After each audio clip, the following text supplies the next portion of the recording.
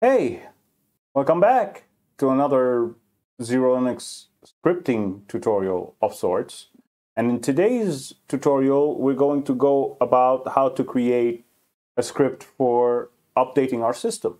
Let's say hypothetically you have multiple package managers on your system, like AUR, helper, and anything else for that matter. So instead of having to type each packager, package manager's command in the, uh, in the terminal, you can create a script for that. As you can see, I have an example of the final result over here. This is what I just pushed via my uh, update tool just today. Uh, it's a Xero Linux system updater, and I put a warning because option 3 uses Topgrade, which will upgrade everything which includes any Git repos, Docker containers, Nix, and device uh, firmware, and so on and so forth. This is a one-shot deal. So if you don't want to update any Git repositories you might have or Docker containers, because those might, uh, can get large, don't use this option. This is a, what I what I and DT call a nuclear option. So I left it for you advanced users out there. That's why I called the section advanced users. So select which packages you want to update. Arch and AUR, it will use Paru, and if you don't have Paru, uh, you have a Yay instead, it will default to Yay, and because Yay and Paru update Arch and AUR packages in one go. Flatpak packages and everything which uses Topgrade as explained up here. So I'm going to show you how to create this exact script. Not exactly, but I'm going to show you how to get by it. There's this template that I'm going to push to my uh, repositories and link in the description below, which you can get and modify to your heart's content. So first, we got the script title and description. Call it whatever you want. Let's call it zero up the system updater like here.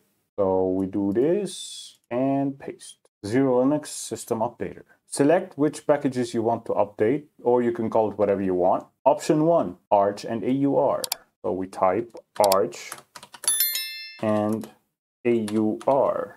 Option 2, Flatpaks. And option 3, we call it all-in-one updater, or whatever you want. Like I called it everything, one shot, but here we're calling it all-in-one updater. And here, type uh, your selection. To exit, just close the window. I left it there because it's a template. First, of course, we have to type the uh, read choice command so we, it reads whatever we selected up here. So read choice, before that while semicolon dotted comma, whatever that's called. Then read choice, case, dollar sign, choice all capitalized in. Number one, parentheses, then echo, that's an empty uh, line, then echo the hashes to decorate. This is all decoration. I add a sleep before and a sleep after.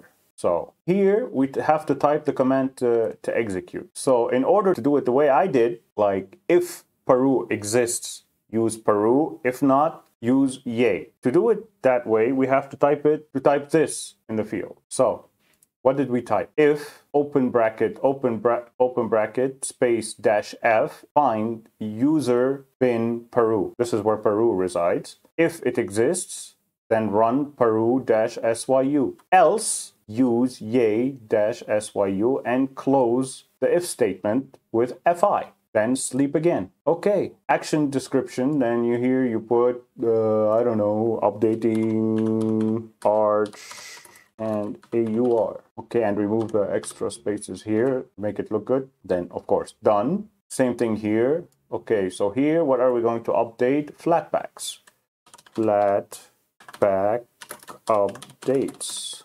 So add one, two, three, add a few spaces. Then the command for Flatpak is quite simply Flatpak updates. Done.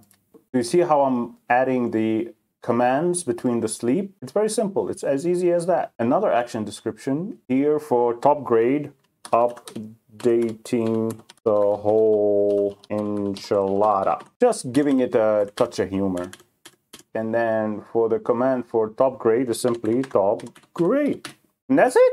And of course you have to add the asterisk here because when, so when the user enters let's say four, five, six, seven, and so on, which isn't available here, it will tell the user oh no, you selected something that doesn't exist, please type a valid number. All right, this is always there. And don't forget, this script will be uh, cleaned up and made available as a template for you to start using to your heart's content and start using it on your own distros. And if you're using Debian, for example, upgrade, if it exists, keep it. Flatpak, keep it because it's the same on every distribution. That's what I love about, about Flatpak.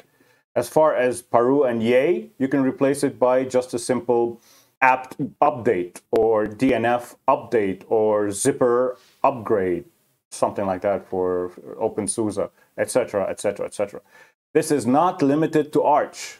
Keep in mind that this script is not limited to Arch. You can customize it for whatever distro you're running. You just change the titles, the descriptions, and the commands to run. It's just a template script to use wherever, right? So if you uh, if you want to use it on Debian, you can. You can use it on DNF. You can use it on Arch. There, you can use it a million different ways. So I hope that this short and quick tutorial helped you out in any way, shape, or form. And if you have any questions, you are welcome to join our Discord or via the comments below or Telegram. We have so many ways to be contacted. So if you want to use that script and you have any questions beyond what I mentioned here, feel free. I'll be here. So, all right, I'll be signing off.